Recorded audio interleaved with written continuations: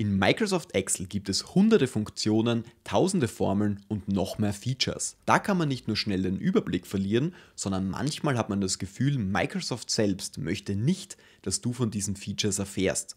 Heute möchte ich dir einige nützliche Funktionen zeigen, die teilweise so tief in irgendwelchen Einstellungen vergraben sind, dass sogar ich erst vor kurzem das erste Mal davon erfahren habe sie jedoch als enorm nützlich im täglichen Workflow empfunden habe und sie auf jeden Fall mit euch teilen möchte, denn du kannst auf jeden Fall ebenfalls davon profitieren.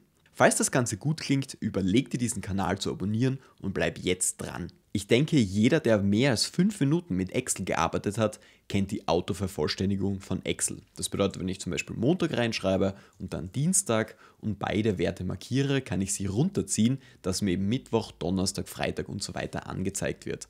Das heißt, das ist die Autovervollständigung. Heute möchte ich dir zeigen, wie du eigene Listen anlegen kannst, mit denen du solche Autovervollständigungen selbst erstellen kannst für Werte, die du oft benötigst.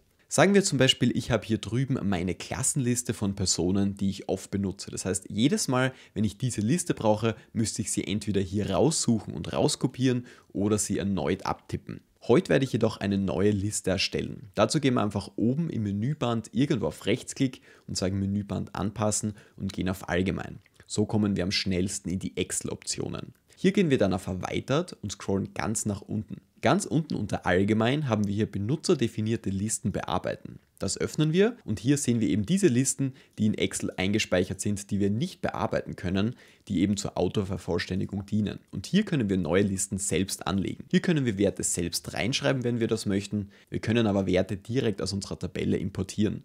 Dazu nehmen wir einfach diesen Wert hier, markieren uns all unsere Werte drücken Enter und klicken auf Importieren und schon sind alle Werte in der Liste eingetragen. Dann drücken wir OK, drücken nochmal OK und wenn wir jetzt zum Beispiel hier starten und sagen Simba und wir nehmen den Wert hier und ziehen ihn nach unten, dann sieht er gleich, okay, ich kenne mich aus, das sind meine Werte. Das heißt, wenn ich irgendwo auf einem anderen Tabellenblatt bin, schreibe ich zum Beispiel einfach MIG rein und dann Juli, nehme die Werte und ziehe sie einfach nach unten und habe so in wenigen Sekunden alle meine Werte, die ich oft benötige, direkt als Liste gespeichert. Wir haben jetzt also eine schöne Tabelle, die wir zum Beispiel einer anderen Person senden wollen. Das Ganze können wir einfach über Speichern und Weitersenden machen oder wir senden der Person ein schönes Bild davon.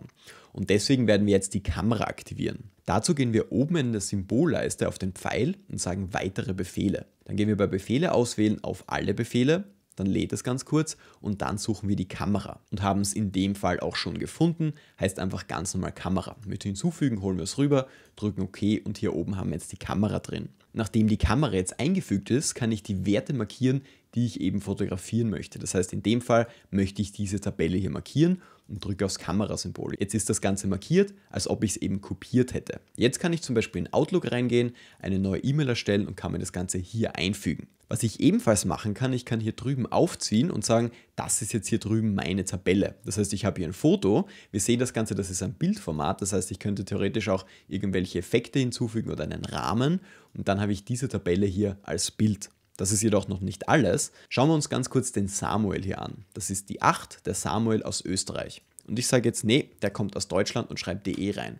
Und jetzt ändert sich das Ganze im Bild, obwohl das eben ein Bild ist, hast du das hier Ganze mit der echten Tabelle verknüpft. Das heißt, jedes Mal, wenn du den Wert hier änderst, ändert er sich im Bild ebenfalls mit. Ich denke, jeder kennt den ganz normalen Filter. Das heißt, wenn ich hier eine Tabelle habe, kann ich mich in Überschrift reinstellen, gehe auf Sortieren und Filtern, klicke auf Filtern und schon habe ich hier meine Dreiecke, mit denen ich zum Beispiel eben nach Deutschland filtern kann oder eben nicht nach Deutschland filtern kann.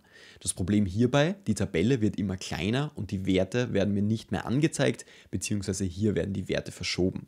Aus diesem Grund möchte ich heute einen Filter aktivieren, bei dem die Ursprungstabelle gleich wird und hier neben die richtigen Werte eingetragen werden. Das erste, was ich hier mache, ich markiere mir hier die Überschriftenzeile auf die rechte Seite. Das dient mir jetzt quasi als Übersicht, wo ich hier den Filter eintragen kann. In meinem Fall sage ich jetzt, ich möchte alle Werte ausgeben, wo das Land Deutschland ist. Deswegen schreibe ich unter Land direkt Deutschland rein. Jetzt stelle ich mich hier rein und sage, ich aktiviere jetzt einen erweiterten Filter, nämlich unter Daten, hier drüben unter Filter erweitert. Das ist ein Spezialfilter und ich sage, an einer anderen Stelle kopieren. Das wähle ich jetzt an. Mein Listenbereich ist dieser Wert hier, das heißt meine komplette Tabelle ist meine Liste. Kopieren nach möchte ich, dass es mir bitte hier nach unten kopiert und mein Kriterienbereich ist dieser Bereich hier. Das bedeutet die Überschriften inklusive der ersten Zeile. Dann drücke ich OK und jetzt hat er mir, wenn ich das ausklappe, hat er mir eben hier drüben die ganzen Deutschen hinkopiert und die könnte ich jetzt theoretisch hier rauskopieren oder ich könnte mir die anschauen oder ich schreibe hier AT rein, filter das Ganze erneut und habe dann meine Österreicher hier unten stehen. Das heißt, wenn du Filtern bereits benutzt, dann probier mal das erweiterte Filtern in Excel aus. Aus meiner Erfahrung geht im täglichen Leben leider viel zu viel Zeit damit drauf, Werte in einer Tabelle zu suchen, zu finden und dann eventuell zu ersetzen. Aus diesem Grund möchte ich dir jetzt einige Tipps zeigen, wie du das enorm verschnellern kannst. Zum Beispiel möchte ich in dieser Tabelle alle Schweizer finden und diese zu Deutsche ändern. Das kann ich natürlich über einen Filter lösen, aber manchmal funktioniert das nicht. In meinem Fall markiere ich jetzt die Tabelle, in der ich das anstellen möchte, gehe rechts oben auf Suchen und Auswählen und auf Suchen und suche mir hier alle Schweizer. Das heißt, ich schreibe CH rein und sage alles suchen. Jetzt mache ich das ein bisschen größer und eventuell kennst du das, aber das hier unten ist dir wahrscheinlich noch nicht aufgefallen. Hier sind nämlich alle Werte drin, die eben CH beinhalten. Das heißt, wir haben hier den Wert CH, hier, hier, hier und der Micha hat ebenfalls ein CH drinnen. Ich möchte aber wirklich nur die CHs ändern. Das heißt, ich lasse die Steuerungstaste gedrückt und wähle mir einfach diese Werte hier raus und wir sehen hier drüben, markiere das automatisch. Jetzt können wir das Ganze schließen und jetzt sind die Werte markiert. Was ich jetzt machen kann, ich schreibe einfach DE rein. Ich bin übrigens hier in der unteren Zelle drinnen, das sieht man, weil die hier grau sind und die hier nicht. Dann schreibe ich DE rein, drücke wieder Steuerung und drücke nochmal Enter. Und jetzt hat er automatisch alle vier Werte in DE geändert, obwohl ich es eben nur ein einziges Mal reingeschrieben habe. Das Ganze funktioniert übrigens auch gut mit leeren Zellen. Wenn ich hier leere Zellen habe, die ich nicht einzeln raussuchen möchte, dann kann ich das Ganze ebenfalls einfach lösen. Ich markiere wieder die komplette Tabelle und drücke jetzt einfach entweder Steuerung G oder ich gehe wieder auf Suchen, auf Inhalte auswählen. Ich drücke jetzt einfach mal Steuerung G und habe hier alle meine Werte. Dann gehe ich hier unten auf Inhalte und kann jetzt spezifische Inhalte zu diesen Werten nennen. Das Ganze kannst du dir mal in Ruhe durchsehen. Zum Beispiel kann ich hier nur Zellen markieren, die eine Formel beinhalten oder den aktuellen Bereich, aber ich kann auch zum Beispiel die Leerzellen markieren. Das heißt, ich gehe hier auf Leerzellen, drücke OK und mir werden hier diese vier automatisch ausgewählt. Kann ich wieder einen Wert hineinschreiben, zum Beispiel DE, drücke wieder Steuerung und Enter und ich habe wieder alle Werte ganz einfach ausgefüllt. Was mir manchmal überhaupt nicht eingeht, ist, warum Excel diese Funktion verschweigt. Ich habe hier drei unterschiedliche Tabellen und das sind jeweils Monate. Und ich habe hier als bessere Übersicht, habe ich die Überschrift natürlich zentriert und verbunden, dass eben diese drei Zellen verbunden sind, da wir eben wissen, diese Tabelle steht für den März, diese für den April und diese für den Mai. Das Problem ist, wenn ich jetzt zum Beispiel meinen Namen markieren möchte, möchte ich hier runtergehen und dann geht das natürlich nicht, weil dieser Wert ist über drei Zellen verbunden. Das heißt, sobald ich hier drauf gehe, markiert er mir alles, da er alle drei markieren muss, da sie ja verbunden sind und ich kann mir nicht die Namen nach unten verbinden. Und das Ganze ist natürlich blöd, aber es ist nachvollziehbar, da wir eben hier verbinden und zentrieren haben. Das heißt, wenn ich die Werte hier nehme, kann ich die markieren und drücke verbinden und zentrieren. So weit, so gut.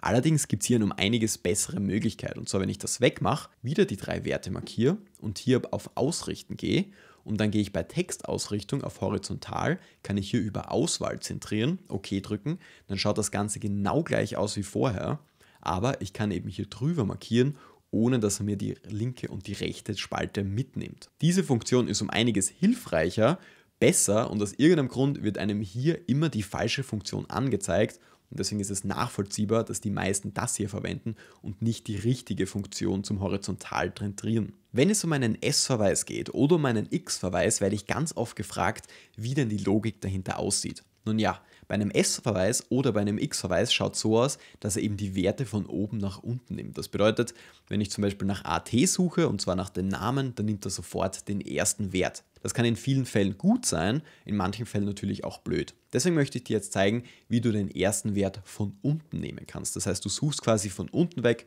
und nicht von oben. Das geht in dem Fall leider nur mit dem x-Verweis, aber schauen wir uns uns mal an. Ich schreibe einfach mal rein, ist gleich x-Verweis, Klammer auf, das Suchkriterium ist in dem Fall AT, mache meinen Strichpunkt, Suchmatrix ist mein Land und meine Rückgabematrix ist der Name. Hier siehst du übrigens, wie gut der X-Verweis im Gegensatz zum S-Verweis ist. Leider ist er nicht in jeder Excel-Version anfindbar. Nicht gefunden lassen wir aus, Vergleichsmodus lassen wir aus, aber im Suchmodus sehen wir jetzt, dass wir aussuchen können, entweder vom ersten Element, oder vom letzten. Und wir möchten im letzten, das heißt, wir schreiben ein Minus 1 und drücken Enter. Und in dem Fall kriegen wir die Lara raus. Das heißt, er startet von unten, findet unten das AT und hat hier die Lara drinnen. Das heißt, falls du in deinem X-Verweis von unten weg suchen möchtest, dann bitte nimm das Minus 1 hier ganz hinten im X-Verweis.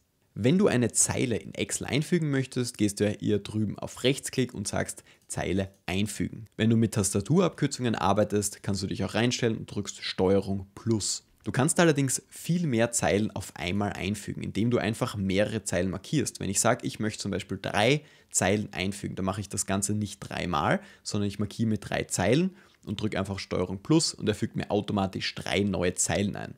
Lustigerweise habe ich das erst vor einer Woche gelernt und ich finde es ziemlich lustig, dass ich das nicht wusste. Das heißt, bei mehreren Zeilen einfach so viel Zeilen markieren, wie du das möchtest. Ich bekomme oft die Frage, wie man bei einer Datumsberechnung ganz einfach nur die Arbeitstage ausrechnen kann. Das heißt, wenn ich zum Beispiel sage, ein Projekt dauert sieben Tage, dazwischen ist aber ein Wochenende und das soll nicht mitgerechnet werden. Das Ganze geht ganz einfach und zwar mit der Netto-Arbeitstage-Funktion. Das heißt, ich schreibe einfach rein, ist gleich Netto-Arbeitstage, dann schlagt er mir das eh schon vor. Dann habe ich ein Ausgangsdatum, nämlich das Datum und dann habe ich das Enddatum. Wenn ich jetzt Enter drücke, sehe ich, das Ganze dauert vier Tage. Das kann ich jetzt mal runterziehen und hier habe ich die Arbeitstage. Allerdings ist manchmal nicht nur das Wochenende dazwischen, sondern auch ein Feiertag oder ein Betriebsausflug oder wie auch immer. Aus diesem Grund kann man hier noch weitere Werte hinzufügen. Wenn ich hier drüben zum Beispiel eine Spalte habe und sage Urlaub und dann kann ich hier Werte einfügen. Zum Beispiel der 7.2.2022 ist ein Urlaub, der 8.2. und der 9.2. ist ebenfalls ein Urlaub. Dann gehe ich nochmal meine Funktion rein, stelle mich hinten rein und sage bei freien Tagen nehme ich diesen Bereich hier, das heißt meine drei Werte. Das Ganze muss ich natürlich mit F4 absolut setzen, drücke Enter. Der Wert hat sich jetzt nicht geändert, aber wenn ich runtergehe, dann sehe ich, dieser Wert ging von 12 Tage auf 9 runter. Ich gehe nochmal zurück, das heißt wir haben hier 12 Tage und hier haben wir eben 9, weil genau dieser Bereich hier Urlaubstage sind und deswegen hat sich das Ganze verschoben. Das heißt, so einfach kannst du Arbeitstage in Excel berechnen. Das sind auch schon alle Funktionen, die ich dir heute in diesem Excel-Video mitgeben wollte. Falls hier was dabei war, was du noch nicht kanntest, würde ich mich wirklich über einen Daumen nach oben freuen. Falls du den Kanal noch nicht abonniert hast, überleg dir das zu tun. Es ist kostenlos und du kannst deine Meinung jederzeit ändern. Falls du das Gefühl hast, dir hat das Video wirklich weitergeholfen, dann würde ich dir wirklich das Video ans Herz legen. Dort erkläre ich dir noch mehr und teilweise noch bessere Excel-Tipps, die du in deinem täglichen Workflow anwenden kannst. Ich würde mir das Video auf jeden Fall ansehen. Es freut mich, dass ich dir helfen durfte. Wir sehen uns im nächsten Video wieder. Ciao